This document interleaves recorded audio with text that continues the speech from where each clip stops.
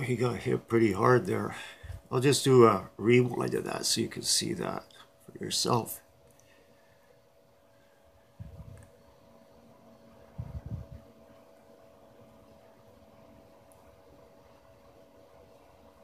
So right now we're just going in backwards. And I'll try to get you right in there so you can see the action.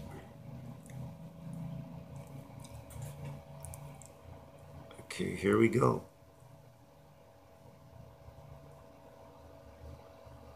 Whoa. Ouch.